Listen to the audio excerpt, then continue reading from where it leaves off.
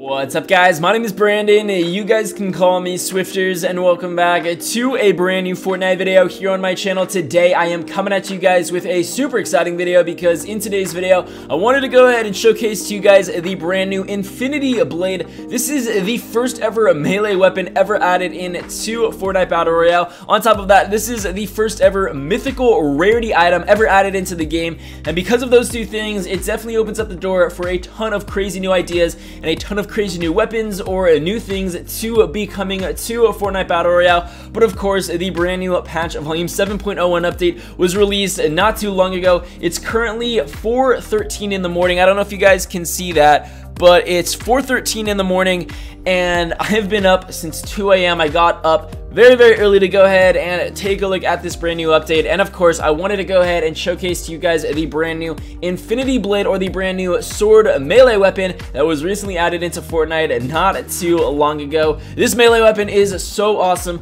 and I really truly hope you guys have the opportunity at some point today to hop onto Fortnite to go ahead and check out this brand new weapon for yourself. But if you guys don't have the opportunity to actually get your hands on this weapon, hopefully you guys enjoy today's video so you guys can fully see how you guys can get the Infinity Blade, where it's located, and all of the perks that come with this crazy new sword if you guys pick it up here in Fortnite.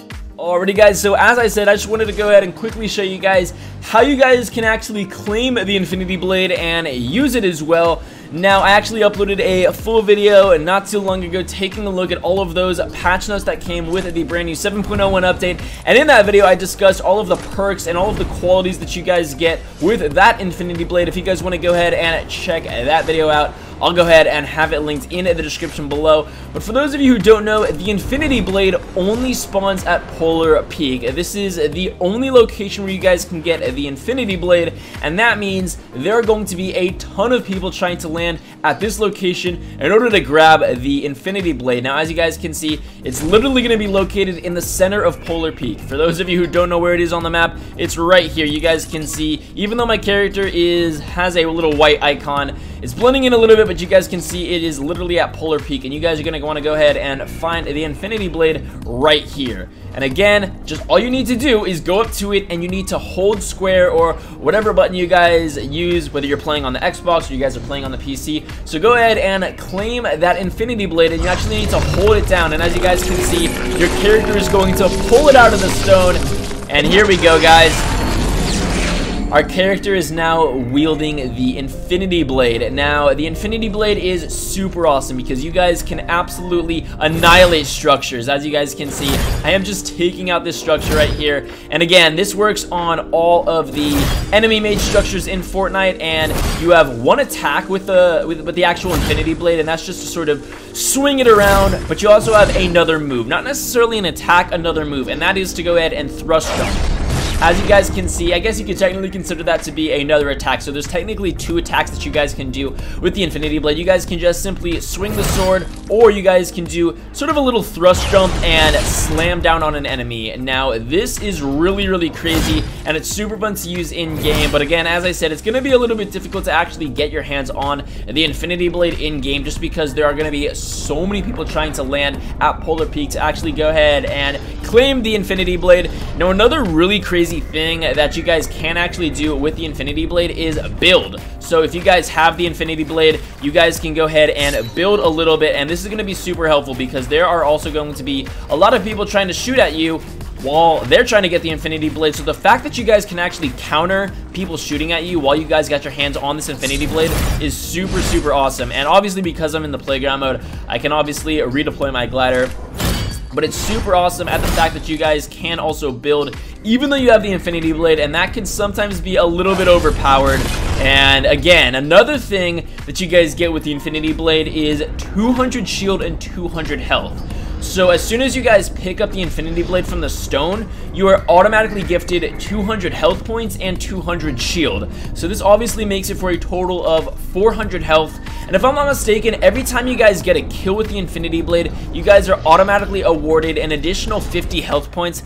And I also think that you guys also get an additional 25 health points if you guys use your thrust jump on an enemy. So if you guys use this move, and you make contact with an enemy, I do believe that you guys get upwards of 25 health points. I'm not entirely certain on that exact number, but you guys can go ahead and check out my previous video that I uploaded taking a look at all of the specifics that come with the brand new Infinity Blade sword. Again, the link to that video is in the description below. But another thing I wanted to go ahead and mention is you guys can actually lose all of your loot if you guys pick up the Infinity Blade. So if you guys are fully stacked, if you guys got scars, if you guys got better shotguns than anyone else, if you guys got all of your shields and Rift-To-Gos, if you guys pick up the Infinity Blade, you guys automatically drop all of the loot that you guys have.